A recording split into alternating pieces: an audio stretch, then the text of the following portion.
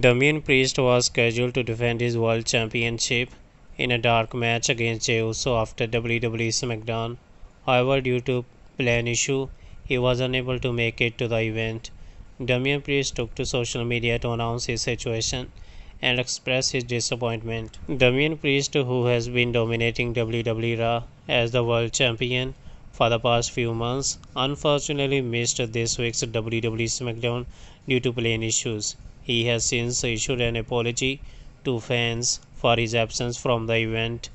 It is certainly unfortunate that Damian Priest was unable to compete on SmackDown this week in front of beloved fans.